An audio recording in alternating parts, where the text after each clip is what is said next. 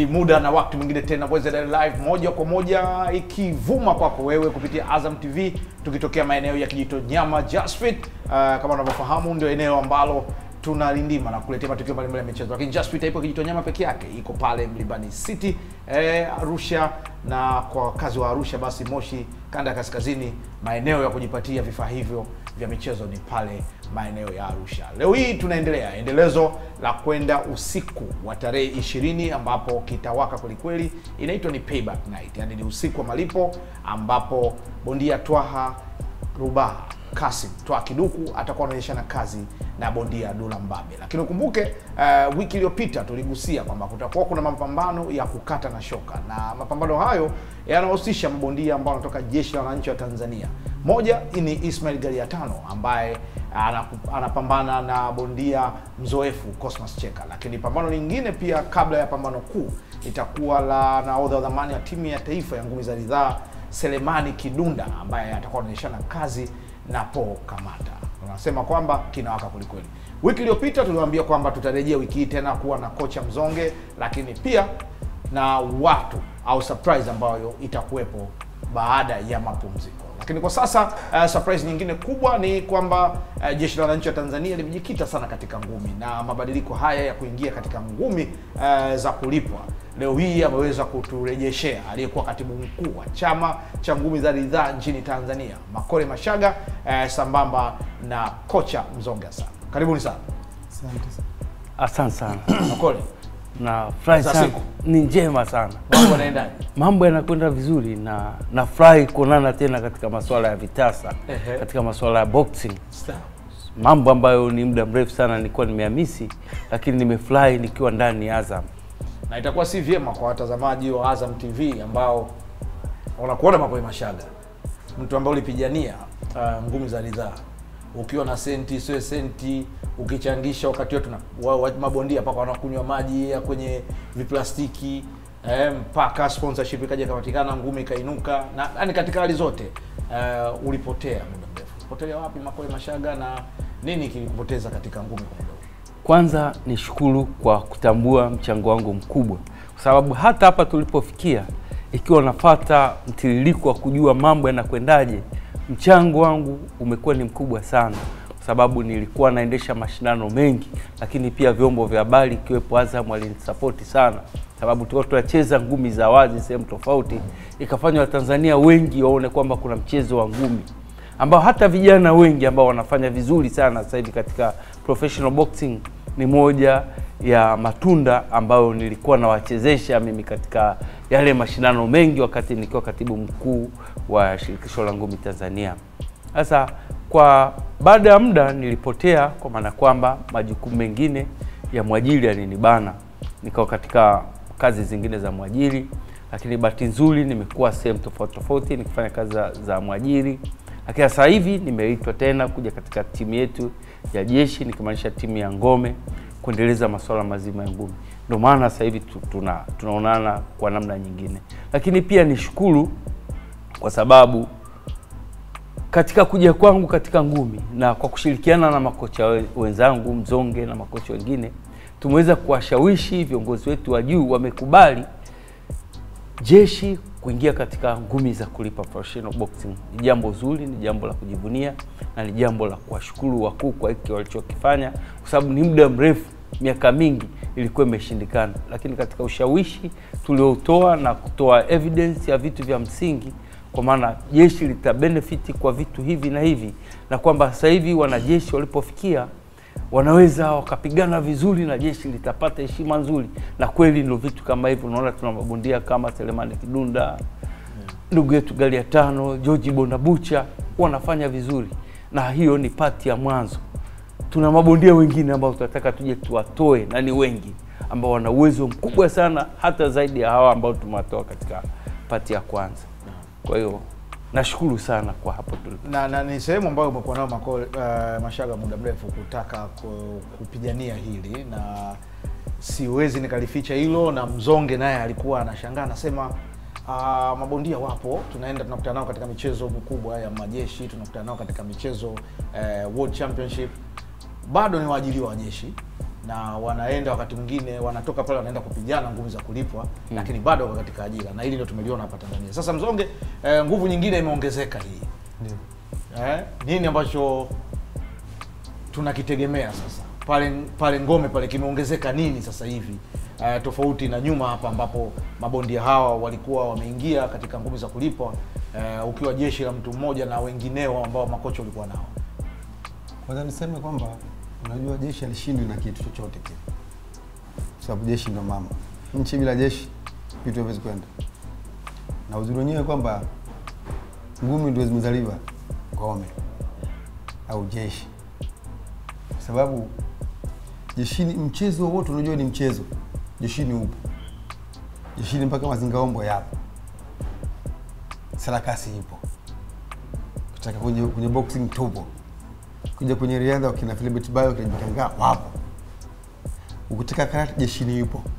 Yaani mchezo wote unaojua mchezo uko jeshini, na mchezo wote ilianzia majeshini, na ndio maana tukienda duniani huko kwa mchezo mchezo mbalimbali utakuta mchezo wote unaocheza kuna wanajeshi, na hata kuchagua timu ya taifa ya Tanzania au timu ya taifa ya nchi gani, wanajeshi wapo. Kwa ina maana jeshi ya kushinda kitu, kwa sababu baada ya vita kuna michezo mnacheza. Au wakati ndani vita wakati wakati mna relax kule kule kuna michezo mnacheza kama volleyball, basketball, lakini maana kumfanya askari kuwa katika hali ya furaha muda wote, kwa sababu sio muda wote mmekasirika, lazima uwe na furaha. Na sio kwa sababu kuna viongozi wa, wa, wa viongozi pamoja na wachezaji tume- tumekamilika. Kwa kile idara, nataka marefari wapo, nataka makocha wapo, nataka wachezaji wapo. Sisi ni kufanya kazi na burudani. Sasa nirudi katika hili ambalo nyinyi ni wazoefu katika ngumi, nikianzia kwako wewe, uh, tukiwa tunapitia mapambano haya uh, ambayo yanakuja moja kwa moja kupitia Azam TV tarehe ishirini uh, na pambano ambalo limekuwa uh, ni pambano kubwa ni la Twaha na Dula Mbabe wakirudiana kwa mara nyingine tena, pambano ambalo limekuwa na ubishi kati yake. Uh, wewe katika engo kama kocha unalionaje pambano hili na unaonaje mabondia hawa? Kitu cha kwanza nikimsemea nikimsemea Dula Mbabe ametenda vya kutosha na yuko na makocha ambao wako vizuri, na hata Twa Kiduku naye ni boksa mzuri, najua ametenda vya kutosha na na makocha wazuri. Kwa mantiki hiyo, ina maana wataonyesha mchezo mzuri sana siku hiyo, kwa sababu kila moja sasa hivi najua yuko chimbo, kwa neno la Kiswahili wanasema yuko chimbo, mm -hmm. ana train. Sasa siku hiyo ya tarehe ishirini kupitia channel ya Azam watu wajitokeze kwa wingi kuja kuona kwamba nani ametreniwa vizuri, nani akutreniwa vizuri. Najua mchezo wao utakuwa ni mzuri na kila mmoja ata, ataona kweli jamaa wale wanapigana, kwa sababu kila mmoja naamini kwamba jinsi alivyotreni zamani tofauti alivyotreni sasa hivi. Ametreni zile, maana safari mtu akipigwa ndo amepigwa, kwa sababu mchezo mara kwanza wakatoka draw, wakacheza mara pili yule ambaye akapigwa. Sasa hii ni ya, tatu, maana sasa na maana kama Dula atapigwa, na maana ukishapigwa kishapigwa tena. Sasa na maana hapo, na maana Dula atakuwa yuko makini sana, na yule jamaa nani yule Kiduku naye atakuwa yuko makini kwamba asije kapoteza. Kwa hiyo game nadhani itakuwa nzuri sana, na watu watu kwa mna- mnachowaomba siku ya tarehe ishirini wasogee kwenye TV ya Azam watizame watu walivyofundishwa na walimu wao. Uh, Makoe hawa mabondia wote na sio siri, wengi wame- wame- wametokea katika ridhaa na kuna wengine walishindwa ridhaa katika muda mchache mm. wakaondoka kwenda kujaribu kwenye professional. mm. Umewaona hawa tokea makuzi yao mpaka sasa hivi ambapo wamekuwa na majina. mm. Uh, kwa jicho lako wewe kama uh, kitaaluma pia ni kocha wa mchezo wa ngumi mm. uh, tunategemea nini? Tunategemea ngumi namna gani? Tunategemea kuona kitu gani katika pambano hili la tatu? Nachoweza kusema kweli, siku hiyo itakuwa ni usiku wa kisasi, kwa maana kwamba siku hiyo moto utawaka, ngumi zitapigwa kweli kweli, kwa maana kwamba nimekuwa nikifuatilia sana mazoezi ya wa, mabondia wote wa Dula Mbabe, lakini na yule bondia wa Morogoro. Kwa kweli ukiangalia wote wanafanya mazoezi kwa nia na kila mmoja ana nia ya kuilinda ile status yake. Nachoweza kusema sio rahisi kutabiri kwamba nani atashinda kulingana na hali halisi ya maandalizi ambayo wameyafanya mabondia yote, lakini nachoweza kusema ni kwamba mimi ni waalike wa Tanzania siku hiyo waje kwa wingi kuangalia hilo pambano, kwa sababu kweli siku hiyo tutaona mchezo mzuri, na kwa mimi kama mtaalamu wa boxing navyomwangalia Dula kwa ule mchezo aliopoteza, kwa sasa hivi anafanya mazoezi ya nguvu sana, na Dula kimsingi navyomwona amebadilika kwa jinsi ambavyo namfuatilia mazoezi yake, lakini pia navyomuona kwenye vyombo vya habari amebadilika sana, kiasi kwamba naona ana, ana tekniki nzuri, ana nguvu nzuri, ana pumzi nzuri, na vile vile nikimwangalia pia, pia yule mwenzake Twa. twa Kiduku na namuona naye kabadilika sana, sio kama vile nilivyokuwa nawafahamu kwa misingi ile, kwa michezo waliokuwa wamecheza nyuma. Kimsingi wote wamebadilika. Hasa katika hayo mabadiliko, na hakika siku hiyo ya tarehe ishirini mambo yatakuwa ni magumu sana, na sio rahisi mtu kutabiri kwamba fulani atashinda kulingana na hali halisi ya maandalizi nayoona wanafanya, lakini pia ma, mazoezi kwa jinsi ninavyomfuatilia kwa kila mmoja kwa kile wanachokifanya. Kwa hiyo sisi tusubirie hiyo siku tuone ni nani ataibuka mshindi, lakini siku hiyo kweli moto utawaka. Siku hiyo kweli moto utawaka, ni maneno ya Makole Mashaga na Mzonge Hassan uh, kutoka jeshi la wananchi ya Tanzania, ngome ngumi ilipozaliwa, wakiwa wanatupa machache. Tunapumzika kidogo, afu tutarejea kuongea na wakonge hawa wa masumbwi. Naam, tumerejea tukiwa maeneo ya Kijitonyama Just Fit. Uh, moja kwa moja Wednesday Night Live ikikujia. Mimi ni Patrick Nyembera nikiwa na Makole Mashaga pamoja na coach uh, Mzonge Hassan kutoka Jeshi la Wananchi wa Tanzania. Uh, unajua Mzonge waga na nyimbo nyimbo zake. Leo tutamwambia kidogo atuonjeshe uh, kabla hajaondoka. Na nyimbo hizo akiimba bondia akija huko hata kama akiambiwa kwamba ili sio ili ili jiwe ni sponji basi anaweza akapiga ngumi. Mzonge uh, tulikuwa naongea hapa nalitoa point ya msingi sana Makoe Mashaga kuhusiana na mabadiliko ya mabondia haya. Tumemwangalia Twaha uh, na tumemwangalia Dula. Tumemuona katika mapambano mawili matatu yaliyopita, watu wakawa wanasema Twa amebadilika. So Twa aliyekuwa anatumia nguvu tu kuja kupigana, Twa sasa hivi anatembea, anaangalia, akaja akapigana pambano la mwisho na Mkongo, pia akaonekana yuko tofauti. Lakini pia ni ukweli usiofichika kwamba mabondia hao wote walienda Urusi na wakapoteza mapambano yao. Uh, mmoja alienda Egypt, lakini wakakutana tena Urusi na kupoteza mapambano yao. Uh, changamoto, uzoefu na jinsi wanavyobadilika vinatuonyesha makuzi gani katika ngumi uh, za kulipwa hasa katika uzito wa mabondia? Kitu kikubwa mchezaji anapocheza na mchezaji kwamba na depend kwamba mchezaji anabadilika kulingana na, na, na opponent alivyo. Dula ametrain kwa kutosha na amecheza mapambano mengi, na Twaha Kiduku amecheza mapambano mengi, na maana kila siku anapocheza anabadilika, ndio mtu ana- ana- ana- anavyoimprove. Na maana mtu kiwa, kwa sababu mwalimu wake anamwangalia mchezaji wake kwamba umecheza pale, kosa lako ni hili na kwa sababu sasa kama kosa lako ni hili inabidi sasa ni kutrain kwa sababu ni kosa lako liweka ukae sawa sawa. Ndio maana maboksi yanabadilika, na maana kila mchezo unakuta anavyocheza anakuwa tofauti na game la mwanzo aliyocheza. Kiduku kulikuwa kila kicheza hivi, ndio maana makocha wake anamwambia hapo umekosea, rekebisha hivi. Usitumie nguvu sana, nguvu zipo lakini cheza hivi, kwa sababu ukitumia nguvu yako unakuwa unajikaza. Cheza ngumi, unacheza ngumi kama vile mchezo tu, lakini ni ngumi. Una relax, unacheza ngumi, sio ugomvi, sio vita vya kuuana. ah unacheza ngumi na huku unamsikiliza una, una, unamsikiliza kocha. Kwa sababu boxer na maana kama anacheza nguvu tu, na maana amsikize kocha. Lakini kocha yake anamwambia fanya hiki, punguza hiki, ongeza hiki. Ndio mchezaji anabadilika badilika. Na ndio maana nikasema kwamba kwa game hii itakuwa tofauti sana na mwanzo wa mchezo, kwa sababu kila mmoja ana temper. Kuna kitu inaitwa FIFA game. Ile kwamba ile pale kengele kwanza pale sema sasa hapa Lewalo na Liu. Kwa pale sasa sasa mtu ataonyesha kwamba jinsi alivyotreni na ana uvumilivu wa, wa, wa kiasi gani na ana nguvu na techniques za aina gani. Na maana ngumi itakuwa nzuri sana kwa sababu kwamba kila mmoja ni mjanja na kila mmoja amecheza ma- mapambano mbalimbali na watu tofauti tofauti, lakini wao shuhudia mara tatu, mara ya pili, mara hii basi ya tatu wanapokutana, na maana kila mmoja anamjua huyu akifanya hivi atapiga ngumi fulani, akifanya hivi atapiga ngumi fulani. Sasa hapo ndo ngumi inapokuwa kali na moto kuwaka.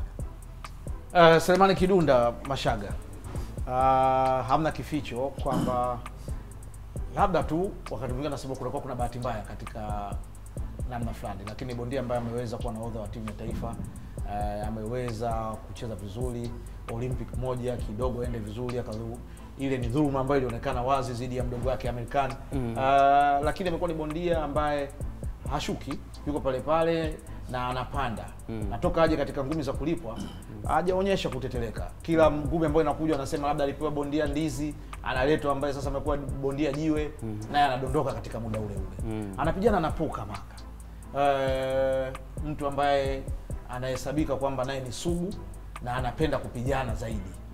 Eh, ukimwangalia Selemani na ukamwangalia Kamaka, una unaangalia vipi hilo pambano? Nachoweza kusema katika pambano ambalo liko wazi kwamba Kiduda atashinda nilo la Kidunda, sio kusema kwa vile Kidunda ni bondia wangu, mm. lakini uchezaji wa bondia kama po Kamaka ndio uchezaji ambao mi na- huwa namkubali Kidunda. Watu kama wale huwa wamalizi, yaani matokeo yake ndo atasema labda watu atasema amepewa ndizi wala nini, lakini kwa hilo mimi sina wasiwasi kabisa na, na Kidunda. yani obviously kabisa hilo Kidunda atampiga na yule bondia hawezi akaenda zaidi ya raundi nne. Katika raundi ya tatu atakuwa ameshamaliza amemaliza kazi kabisa. kwao upao Paul Kamaka na, namtumia salamu. Kidunda ni bondia wangu ambaye namfahamu toka nikiwa kiongozi wake ama lakini sasa hivi ni mmoja wa makocha ambao niko pale katika timu ya, ya Ngome. Yeah. na hakika kwa Kidunda sina wasiwasi, na sio Kidunda tu, katika mabondia wote wa jeshi ambao wanaingizwa na jeshi, hao wapinzani wao wakae tayari, wamefanya mazoezi kwa nguvu, kwa morali na bahati nzuri. Pale Ngome tuna makocha wazuri sana ambao wana elimu nzuri sana ya boxing.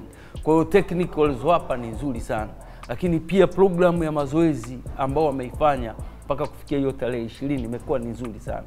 Tumezipitia, tumepitia na wataalamu mbalimbali wa duniani kutusaidia. Programu imekuwa ni nzuri na kiwango katika vipimo vyote ambavyo tumewapima mabondia wetu, tuna uhakika hakuna tatizo. Kwa hiyo poka Kamaka mimi namwambia yule, na- nadhani ni homeboy wa kwetu. Eh, wa- Musoma huko huko Rorya, nadhani kama sikosei. Ambaye analetwa na maugo analetwa na maugo na, na mimi ni wajomba zangu, kwa maana kwamba mimi mama yangu ni Mjaruo ingawa baba ni Mkiroba Mkuri yani. Kwa hiyo mimi yule ndugu yangu namwambia atafute namna nyingine, yani kama kuna uwezekano wa kukacha pambano ah, ni bora tu alikacha, lakini kama kweli ataingiza timu kupambana na Kidunda na mwonee huruma sana ndugu yangu kwa kipigo atakachokipata kutoka kwa Kidunda. Kidunda amefanya mazoezi katika standard inayofikia na amefikiwa viwango vile vinavyotakiwa. Kwa hiyo sina wasiwasi naye, yaani kule nakwenda kupokea ushindi kutoka kwa Kidunda, na huo ushindi unakwenda moja kwa moja katika wanajeshi wote tukiongozwa na mkuu wetu wa majeshi. Safi kabisa. Na eh, wiki iliyopita hapa tuli- tulikuwa tunapiga debe hapa, huenda likafanikiwa, tukimwomba CDF haje eh, kuwaona vijana wake eh, kuwaongezea morali. Lakini Mzonge, sasa nirejee kwako. Uh, toka ameingia kwenye ngumi za kulipwa, lengo lake lilikuwa na mabondia wawili ambao wanapigana siku hiyo. Sasa unadhani ni muda mwafaka siku hiyo mtu anayepigwa apewe nafasi ya kujiuliza kwa Kidunda kabla ya yule aliyeshinda kati ya uh, Dula na Twa. Kwanza niseme na, na furaha kubwa moja. Kwanza na wachezaji wa- watatu na- naingiza siku hii. Ehe. na mchezaji wa kwanza kuna George Constantino Bonabucha au Skangaga. George uh, George Constantino Bonabucha au Bonabucha. Skangaga Bonabucha au kwa jina swaswa faswa anaitwa Bonabucha, maana yule ni ni mtu wa sehemu fulani hivi. ehe. Wakati tumesikia bucha yetu tukajua kwamba ni kama mtu fulani mwenye kisu kikali anayechinja chinja huko kwenye Eh. kuchanja kucharanja charanja nyama kwenye bucha na yule ana uwezo wa kumpiga mtu vile anavyokuja, anaweza akampiga huku anacheza, anapiga anaangalia huku anapiga na akitana anapiga. Mwingine anaitwa anaitwa Ismail Gadiatan, alafu mwingine anaitwa Selman Salum Kidudu au mtu mbaya. Watu waisha visu, kwa sababu mikononi mwangu mtu anipita, sitoagi sitoagi show mbaya, toaga show nzuri. Atakayecheza na Bwana Bucha atapigwa hapo mwenyewe, watu waamini, tutampiga kinyama. Akitaka tutampiga, asipotaka tutampiga. Akitufuata tutampiga, akirudi nyuma tutampiga, akienda kushoto tutampiga, akienda kulia tutampiga.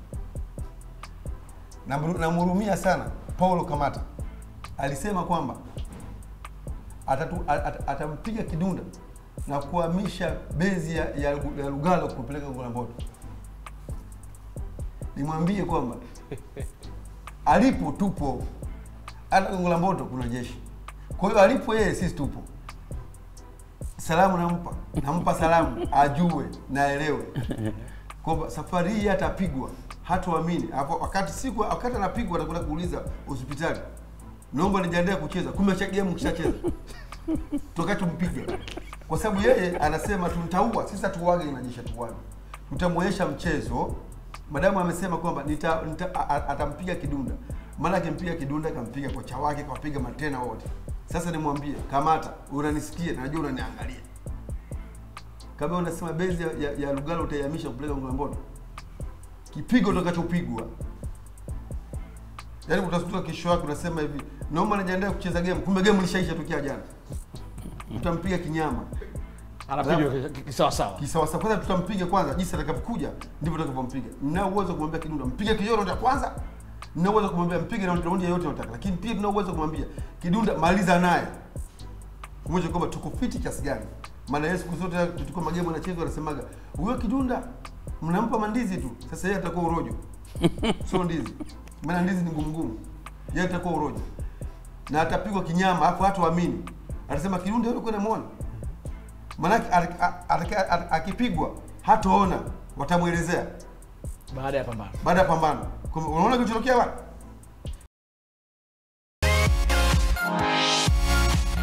Naam, tumerejea katika wakati mwingine tena tukiwa baada ya mapumziko kumalizana na makocha wa timu ya Jeshi la Wananchi Tanzania JWTZ eh, Makole Mashaga na Mzonge Hassan. Sasa ni wakati ule wa kuwasikia wenyewe ambao watapanda ulingoni. Eh, mara nyingi tumezoea kusikia watu katika kada mbalimbali, mpira wa miguu au wapi, wakiimbiwa nyimbo zao za mchiriku, lakini jina la Selemani Kidunda uh, aliepukiki. Ni kama dawa ambayo imeingia katika mchezo wa ngumi za kulipwa, lakini uh, pamoja naye Selemani Kidunda uh, George Bonabocha huyo Augustine naye yupo. Mtu mbaya naye vile vile akiwa anasema kwamba kama Sele umeongoza timu ya taifa kwa muda wote ule, na mimi nataka nianzie kwenye kulipwa huku huku, nimetoka ridhaa na mimi nianze kuwakalisha kama ulivyowakalisha. Nipo nao hapa, na kwa kuwa wote wako hapa, sasa ni muda wa kuwasikia kwa kile ambacho wamejiandaa nacho kwa pambano la tarehe ishirini. Selemani Kiduna na George Augustin Bonabucha, karibuni sana. Ah, asante sana, asante. Mambo yanaendaje? Tunashukuru Mwenyezi Mungu. Hapo unajua mimi nazijua Eh. sheria za jeshi. Anayekaa kulia. Eh, Eh, eh, eh? eh, mdogo wangu. Akikosea tukupiga kushoto. Smart area. Eh, anajua mdogo wangu. Kwanza Kidunda nikupongeze. Uh, nilisikia uliweza kwenda kujiongeza kimafunzo, kikazi uh, kwa muda kidogo. Eh, kweli nilikuwa Tabora pale, kuna sehemu moja inaitwa Kalunde pale. Wana Kalunde pale, naona wananifahamu na wanajua mtu wao mzee wa kazi pale, kuna wakubwa zangu pale, najua bwana sasa ushamaliza hebu katuonyeshe. Kwa hiyo ndo nimekuja nimekuja kuonyesha kazi. Kwa hiyo wana Kalunde wote watakaa watanisikilizia Kidunda sasa.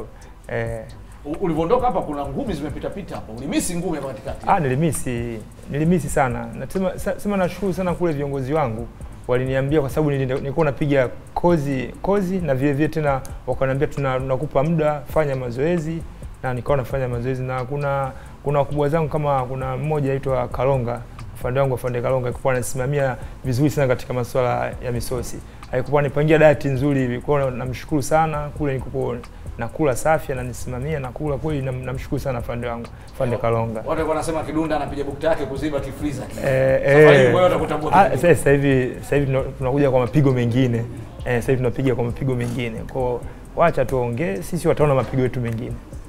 bado nipo na wewe lakini uh, po, uh, George uh, kwanza hii bona bocha hii ma- ma- maana yake nini? Maana yake kwanza imenitisha eh, Mimi naitwa George Constantini Mbona Bucha. mbona Bucha. Ehe. Naam, tumerejea tukiwa katika nguo ya mwisho kabisa kumalizia uh, yale ambayo yapo ndani ya Wednesday Live ili kuweza kukufahamisha wewe uh, tarehe ishirini sio tu ni Dula Mbabe na uh, dhidi ya Twa Ruba, lakini pia uh, burudani kubwa siku hiyo inaletwa na mabondia wa jeshi la wananchi wa Tanzania. Ehe, watapanda ulingoni kuonyesha mavitu yao. Selemani Kidunda eh, na Skaganga mwenye anajiita eh, the butcher, sijui butcher, sijui nini, vyote utavijua. Mimi leo nimebadilisha ile kuwa butcher kwa sababu anaonekana mtu wa kuchinja chinja. Kama ataendelea nao sawa, kama ataendelea nao ataendelea na lile la kwake. Bao nilikubali nikuita the butcher. Sasa cool. Eh, the butcher mwenye mtu wa butcher. Yaani unavunja vunja mifupa. Ya, Eh? Hili nimekubali. Kabisa. Changu amelisikia kwa sema mimi bucha. Eh, Bucha bubu. Tu bucha. kupangua pangua nyama. Eh, kata kata mikono. Ah, Kinunda ka- katika kila kitu ah, huwa kina malipo yake. Nilizungumzia kuhusiana na zawadi ambazo zinatolea kwanza, lakini wewe bado ni mwajiri wa jeshi la wananchi wa Tanzania na, na zawadi kubwa ambayo mwanajeshi anaipata kama kuendelea kwa summit hapa kupendeza Eh, so, na so. kwa upekee kabisa anatumia platform hii, najua kazi uliyofanya na eh, CDF ni mtu ambaye anaangalia kipindi hiki sana Mm. Uh, kwako wewe unaweza ukafanya nini cha kumfurahisha kule mkuu wa majeshi ya ulinzi na usalama, majeshi ya ulinzi hapa nchini Tanzania, nyumbani kwake pale, akasema huyu kijana leo amenifanyia kitu, katoka kozi huyu kweli huyu. Sasa hapa kidogo inabidi tumuongeze. Kwanza mimi cha kwanza ndachofanya mkuu wangu afurahie na apate kuongea sehemu yote kuhusu kijana wangu. Cha kwanza naangalia kwanza kumletea mikanda ambayo imeshikiliwa na watu sasa hivi kwamba ile mimi ndachukua iwe chini iwe juu yangu kwamba ili kwamba huyu bingwa wa mkanda fulani mimi nataka nipate naye mechi nimiliki ule mkanda nimpige nimiliki ule kwao nikishamiliki mikanda yote naona hapo mkuu anaweza kaongea sehemu yote umeona eh? na vile vile nishike pale namba moja. Kwa hiyo sasa hivi mimi katika renki niko bondia namba tatu hapa Tanzania. Katika muda mfupi tu. Eh, eh, kwa sababu make mimi ukiangalia na nimecheza mechi sa, si, sita Yeah. ambazo zote nimeshinda KO. Hiyo nao ni moja ya sifa Rekodi mo- moja wapo kwamba rekodi inapanda, ila kikubwa ninachotaka nimfurahishe mkuu ajue kwamba kijana wangu anamiliki sasa ile mikanda WBC, W- WBU. Sasa ile ndo mkuu atapata pale, ataona eh, huyu ndo kijana wangu. Inshallah Mwenyezi Mungu yupo na mimi nina nia hiyo kufanya kwa kitu, na hisi Mwenyezi Mungu atanijalia, ndafika napopataka huko. Eh, Kirunda bado unaamini kwamba uh, ili tuweze kupata mabondia bora katika ngumi za kulipwa lazima wapambanishwe wale ambao wapo katika uzito fulani mpaka apatikane namba moja ili tuweze kuwa na, na, na, na idadi kamili yenye uhakika na kwamba mtu ambaye anasema kwamba mimi ndio namba moja nimempiga fulani nimempiga fulani nimempiga fulani hiyo hi- hiyo ni kweli. Hata mwenyewe napenda sana nicheze na bondia yoyote hapa, ingawa wao katika uzito uzito wangu, hiyo ni msema kweli, mpenzi wa Mungu, mimi katika uzito wangu wananikimbia kimbia. Hiyo ni hiyo, yani hiyo niko sahihi kabisa, wananikimbia kimbia. Hata sasa hivi promoter atakwambia Kidunda kupata mechi ngumu sana. Kwamba mtu akimbii kwa kusema kisemea maneno anaweza kukwambia promoter ni, nipe milioni mia nne. Sasa katika Tanzania hii mtu anaweza kukupa milioni mia nne. Hiyo ni janja janja mojawapo ya kumkwepa mtu kwa hiyo hiyo iko zaidi lakini mimi mwenyewe binafsi nilipenda nipigane na bondia wote hao. Imali kwamba niseme kesho na kesho kutwa kintajaba mtu fulani naambia "Ah, huyu nilimpiga KO ah huyu nilimpiga hivi nilimpiga hivi. Ndio kitu iko na, napenda mimi ambapo hata nikipita kwamba watu waniite champion. Mimi sasa hivi watu wanavyoniita mimi champion naona kama wananikosea. Bado lijawa lile jina la champion. Eh. Na, na kwa upande wako uh, wewe unaangalia vipi katika uzito wako uh, kwa hivi sasa tabia ya mabondia kukimbiana kweli imekuwepo. Lakini uh, ukimaliza pambano hili manake tuko kwenye tv hapa. Unatamani nani? Na kwa nini? Unamtamani nani na kwa nini? Nani? Mimi? Wewe yani ujue mimi naishi kama mbwa. Siongei bali naelewa. Kwa hiyo sasa ukianza kusema kwamba bana da namtaka kidunda namtaka nani? Hapana. Sije tume- tumefundishwa discipline. Na wewe uje kusema hata siku moja kidunda anasema baba mimi namtaka namtaka mtu fulani. Hapana lakini viongozi wanakaa bwana kuna mechi hivi na hivi hivi lakini wanasema kwamba bwana, namtaka mtu fulani wanatengeneza makundi baina ya huku na huku kwamba kwa nini nakutaka wewe mwana bwana ndio mambo kama haya kama hatua na mwakinyo mwana bwana eh. kwa hiyo wewe kutatua bwana namtaka mwakinyo kwa mashabiki wa mwakinyo wana kama ah kwa nini amtaki mwakinyo kwa nini asimtaki mtu fulani kwa nini asimtaki Kidume? kwa nini asimtaki nani kwa hiyo ukienda kusema bwana namtaka mtu fulani wengi nawatamani kimoyomoyo yaani hao ndio muoni mwangu Unawajua. Eh, ah ndio ningepata mechi na yule nitashukuru sana. Lakini siwezi kusema kwamba kwenye media kwamba namtaka mtu fulani ah ah. Inakuwapo sio picha nzuri lakini kwamba mimi mtu yote nacheza naye. Kilo 52 kilo 51 mpaka kilo 55 yaani yote mimi nacheza naye pale. Yoyote yule. Yote mimi nacheza naye. Lakini sasa siwezi kusema kwamba namtaka mtu fulani. Kisha kusema namtaka mtu fulani utatengeneza matabaka ya mashabiki wa huku na mashabiki wa huku. Lakini kwamba mimi ni bondia na nimejiandaa vizuri na mimi ni askari wa vita mpambanaji siogopi bondia yote katika uzito huo kuanzia 55 mpaka 52 yote nacheza nao unaitazama vipi ngumi ya uh, ambayo itakuja siku hiyo? Ismail gari ya tano ndio mwenzako kutoka jeshi la wananchi na Cosmas Cheka yaani katika katika buti nzuri. Buti hiyo hapo Cosmos Cheka na na gari ya tano ni buti moja ambayo ni nzuri sana, ambao kuna kuna ngumi zitapigwa pale, yani kila mtu atokaa chini. Hali ni ngumi nzuri sana, yani yani game ambao buti ambao kila mtu nadhani kwamba ata- atakaa kwenye TV kuiangalia ile mechi inakuwaje. Lakini kwa maana siamini mimi Cheka ni bondia mzuri na napenda Cheka ni bondia mwenye nidhamu sana. Yaani mimi namkubali sana ndugu yangu kwamba ni bondia mmoja ambaye ana maneno mengi. Yaani anamheshimu mpinzani wake. Unajua mwingine anakuta kwamba mimi huyu mimi nampiga nitamuua. Mimi huyu ah, sasa lakini Cheka anaongea vizuri kwa maana anaongea kiboxa. Yeye ndo ndo michezo ndo ipo vile. Usiona una pompwa nyingi eh, lakini kwa mbona kuongea taratibu, kaongea yani kaongea kimichezo, au sio bwana, kwamba watakutana kwenye ringi, kila mtu anaonyesha uwezo wake, ataushinda uwezo basi eh. Kwa hiyo kikubwa kwamba hiyo game ya Suma na na Cheka ni mechi nzuri sana ambayo hata mimi nikikaa sengine mpaka naiwaza. Hata ndani mimi ndio niko Suma. Eh. nisimame pale na Cheka baki dali game moja ambayo Cheka mbondia moja mzuri afu wa kitambo afu ana jina afu bondia mzuri ambao bondia ambao ambao ulisaje kupigwa knockout. Ni bondia mmoja ambao ah Cheka ni bondia mmoja mzuri sana. Lakini na Suma na gari ya tano ni mtu mmoja mbaya sana ni Southpaw ile sijaona mtu akumsumbua kumsumbua hapa kibongo bongo sijaona kabisa Kidunda me- eh, main card siku hiyo ni Dula eh, na Toa Kiduku. Ah, wote uzito wako Wo- wote wako hapa. Lakini wewe ukiwa kama ni bondia uzito ule unaliangalia vipi ili pambano ukiwaangalia wote wili. na wote wala sidanganyi wote najua ushafanya nao sparring. Yeah, yeah, yeah. Tunaangalia ngumi namna gani? Tutaangalia ngumi namna gani siku hiyo? ile mechi ni nzuri, ila sema na na wasii kwanza wasije na attention. Unajua wakija na attention wote ngumi zitakuwa sio nzuri, lakini wakija kwamba tunaenda kushindana, basi ngumi zitakuwa nzuri sana. Eh, ni mabondia ambao wote design yao sometimes inakuwa kama inafanana fanana, sababu Dula ndugu yangu na yule tena ndugu yangu, naona sometimes game zao kama zinawiana, unapenda sana kupigana kuliko kucheza. Kwa hiyo kama mmoja aki- akichange akiwa anacheza, basi hiyo gemu yule mtu anapenda kupigana kwake itakuwa ngumu. Eh, kwa mimi nimeona hivyo. Kwa hiyo nini mwendelezo wako uh, Sele? Tumeiangalia hapo. Bado unatamani mabondia wa kutoka hapa nyumbani au sasa mapromota?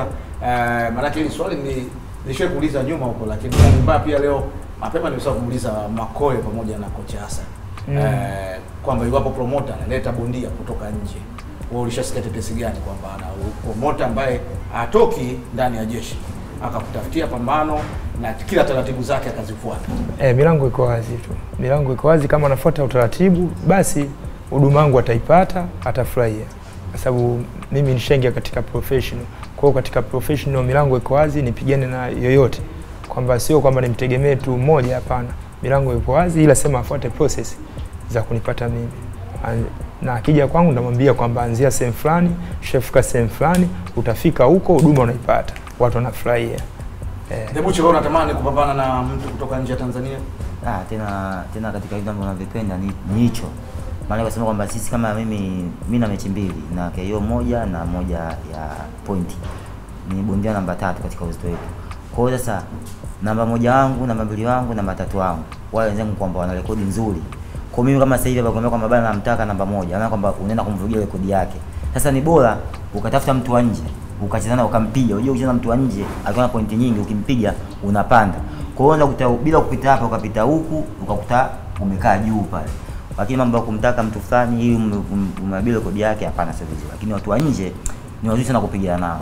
Na mimi napenda sana nipate na watu wa nje. Naomba sana game za nje, nazitaka sana game za nje. Tofauti hata na game za ndani sana.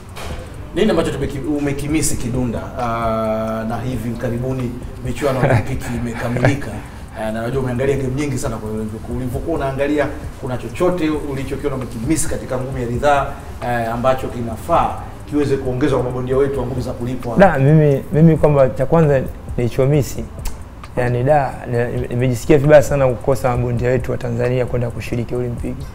Yani kila siku najiuliza kwa sababu gani inakuwa hivi, kwa sababu unajua bondia akishakuwa kaenda Olympic kuna vitu vingi sana anajifunza, na ile ngumi ya ridhaa ndo kama inaita changamoto kubwa sana kuleta mabondia professional. Kwa sababu ukiangalia wenzetu huko nje wote wamepitia kule kat- katika ngumi za ridhaa ndo naita kwa hiyo da vile vitu ambavyo navimisi sana, nasema da viko wapi hapa? Unajua enzi ile ilipo- iliposoma siala wakati wangu ah, ipo sio masiala kwa vitu kama vile navimisi sana. Na vimisi sana Natamani sasa, kwa hiyo ili twende Olimpiki Eh. wafanye nini hapo hapa bwana, mimi nasema kwamba watu kwanza, unajua kwanza, cha kwanza mashindano ya mara kwa mara hapa kwetu Tanzania. Unajua ukisha, ukishafanya mashindano ya mara kwa mara pale ndo utapata mchujo wa mabondia wazuri. Ukishapata mchujo wa mabondia wazuri, wale nao unawachukua unawapiganisha game za nje nje. Sasa ukisha ukishapeleka vile vichwa vyao vinakuwa vinakomaa. Unajua mimi nilikopo kuna, kuna kipindi nikienda nchi nchi yote nikifika tap namjua huyu bondia. Ah, Huyu nishakutana naye sehemu fulani. Hata hata siku nilikuwa na mdogo wangu tuko yuko China hapa. Nikamwambia bwana yule namjua, yule namjua, yule namjua. Yaani wengi sana kwamba unawajua. Ile ndio inakupo kule kunaitwa kukomaa kwamba ushamjua bondia. Mimi pati kama tumepigana leo tumekutana tumekutana na Uganda tumepigana. Kesho tunakuja kuja kupigana Kenya. Ah, mimi na- nakupozi ukanisumbua au labda upigane bwana, "Ah, namjua anacheza hivi anacheza hivi anacheza hivi. Kile ndio inachoa kukomaa. Kwa hiyo sisi Tanzania tuwe tuna, tuna ma- mashindano ya hapa tupate mchujo. Tushapata ule mchujo wa timu yetu ya taifa, tu tunapiganisha nje nje. Bwana, ah, kuna mechi fulani unajua unajua mechi za ngumi za lizaa zinakuwa baada ya miezi miwili labda baada ya mwezi mmoja. Sasa ukiingia katika mitandao una- unajua tunachukua mabondia unawapeleka waenda kupigana pale, na, na kumbe tutapata krimu moja nzuri sana timu ya taifa. Neno la mwisho kwa Poka Maka. Ah, mi mi na namwambia tu kwamba mimi sio mzalamo, sio mwongeaji, ila sema kazi yangu wataiona pale, kwa sababu yake mimi nacheka, napenda sana kucheka, napenda sana kucheka. Lakini sasa nikiwa ulingoni nasema da, ili jambazi ndio lilikuwa linacheza linacheka kule. Eh, kwa hiyo mimi sina maneno mengi, tu- tutaona ulingoni. The Butcher. Ah, Neno la mwisho kwa mpinzani wangu. ah, mimi nachomwambia mpinzani wangu kwamba siku zishaisha, tutakutana ulingoni. Mimi sina maneno mengi bwana, naishi kama mbwa, siongei bali naelewa. Haya ndio jinsi wanavyoisha, wanakwambia ishi kama mbwa. Inawezekana kana bweka tu lakini aongei. Kwa vitendo utaweza kuipata kwenye ulingo. Ndio jinsi ambavyo tunamaliza Wednesday Night Live kwa siku ya leo, ila tu kumbuka kwamba eh, kingamuzi chako wamekilipia mapema, uepuke usumbufu eh, siku hiyo, kuanza kupiga simu, mbona sipati hiki, mbona sipati hiki. Lipia mapema kwa sababu kitamaliza mwezi na utaweza kuangalia pambano, kwa sababu kama mkusanyiko eh, hautakuruhusu watu wengi kwenda sehemu moja, basi unaweza ukakaa nyumbani na kuweza kuangalia ngumi hiyo kupitia Azam TV au kiganjani kuangalia kupitia Azam app eh, sehemu yoyote iliyokuwepo ili kuweza kuwaona mabondia eh, Twaha Kiduku na Abdala, Abdalla Abdalla Dula Mbabe, lakini pia mabondia kutoka jeshi la wananchi Tanzania The Butcher, mtu mbaya Sele pamoja na Ismaili Gari ya tano. Kwa leo tunaishia hapa, tukutane wiki.